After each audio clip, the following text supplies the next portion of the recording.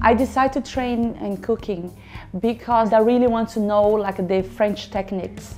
That was very important and I think is in all type of cuisines you need to have a French techniques and that so for me was the base of cooking. It was uh, Le Cordon Bleu. I studied at the Cordon Bleu, it helped me a lot because it gave me the more power to deal with like a big companies to work for. So that was uh, my aim to do Cordon Bleu.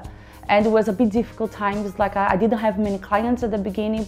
I think probably because I didn't have like a Cordon Bleu in my CV. So after I did uh, Cordon Bleu, I had the degree. I had so many clients. I cooked for very famous people. I was on TV. So only with the name Cordon Bleu in my CV made my company grow much, much bigger. It's very important uh, nowadays to have uh, a very good course. You have so many chefs. It's so difficult to go into, into this market nowadays. So if you don't have a good background, you're out.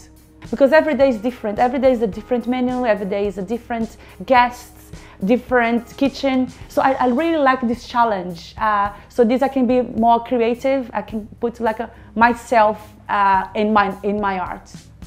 Cordon bleu, in a sentence for me, is a passion about cooking.